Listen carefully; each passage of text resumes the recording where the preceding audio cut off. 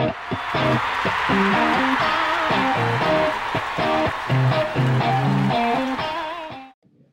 everyone, and welcome back to another video for Live 365 Broadcasting. In this presentation, we will be going over how to schedule a playlist on your station. Now this is a great tool if you want to alternate which playlists play at different times of the day or week.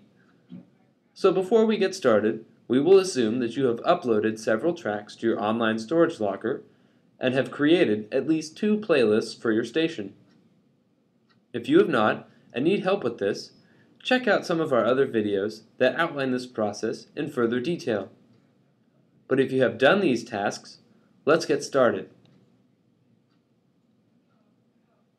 To begin, log in to your Live 365 account with your username and password.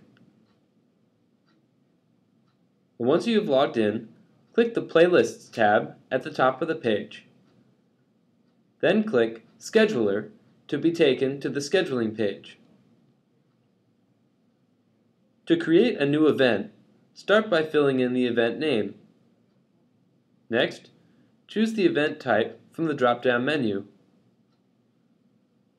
Then select the playlist you will be using for the event. After that is complete, you will need to set up the time and date in the scheduler. Select the recurrence of your broadcast then, select the specific day of the week, the start time, and the end time. Once everything is complete, click Save Scheduled Event to save your event and return to the Schedule page.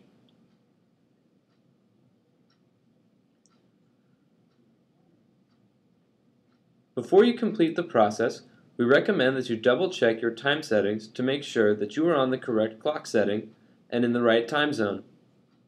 If everything checks out, your scheduled playlist should be on the air at the specified time. Thank you for choosing Live 365. We hope you found this tutorial helpful and that you come back again soon.